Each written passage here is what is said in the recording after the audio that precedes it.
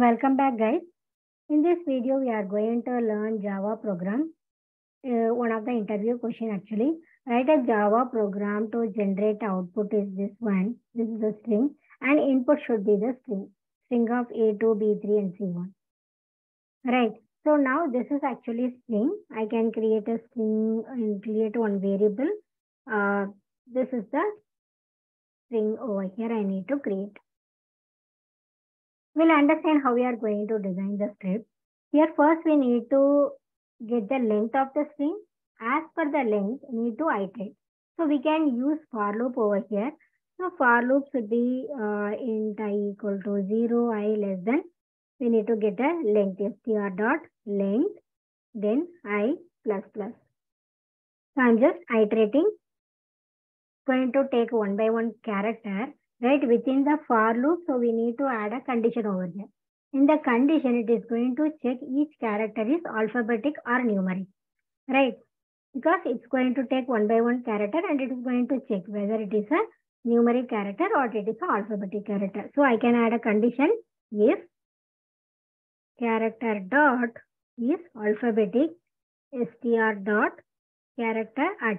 So this is going to return a first one character so if the condition is true means here what we need to do if it is alpha character then need to print the character. So I can print str dot character at i. So this is going to print. The condition is true, it is going to print. If the condition is false, right? If the condition is false means here it is alpha, then it is numeric only, right? So this is the condition is true, it is alpha. Otherwise it is going to be numeric only. So I am just going to create an uh, one variable for uh, storing that numeric value. I can say character dot get dot get numeric value str dot character at. So I'm just going to store the value over here. Right, as per the numeric value, we can add a one more for loop. This loop will iterate as per the number.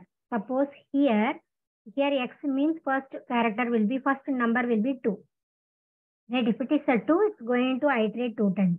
If it is a 3, it has to, the loop has to iterate 3 times. Right, now first time it is going to take a 2 only. So it will going to iterate 2 times. So I can add a for loop.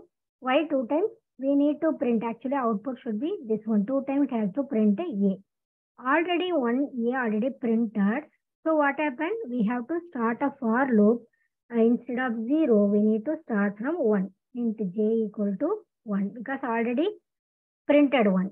Right? So we need to print only one more time. So I can say j less than x. Here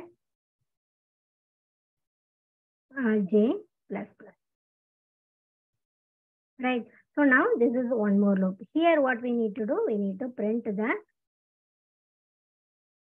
str dot character at we need to pass that. Here what we need to print it should not be i directly. It should be i minus 1 why? Because now the value is you know 2 only. I minus 1 means this is the a. So a again one time. How many times it has to iterate? This the so that many time it has to print the a. If it is a b here already it is it should come 3 right? So 3 times the loop has to iterate. Already we are starting from 1 so what happened? Already 1 is there. So again 2 time it will go into iterate and again 2b will go into print. So here already 1b is there and one more one two more b also will go into print. Right. So now this is what uh, the thing is. Now i'll run this. I'll show you the output uh, how this is coming over here C A A B B B C. Now I don't want to print in this way vertically. I want to print this in a in horizontal way. I mean one single line I, I just wanted to print. So what I can do, I don't I'm just removing this uh new line. I don't want new line. So I'm just removing this. See it is printing in this way. Right. Recently many companies asking this Java question. Next video, I'm going to share you write a Java program. So what I'll do, input should be um, this one. Output should be now in this program, right, so we have given an input is this, output is this. The next recording, next video, what I'm going to share, this should be input. So if I am giving an input is this, output should be coming in this way. This should be output. Right? So we'll see how this is, uh, we can uh, do that, right? So we can achieve that in different way. We'll understand and learn in next video. I hope this is going to be helpful. Thank you.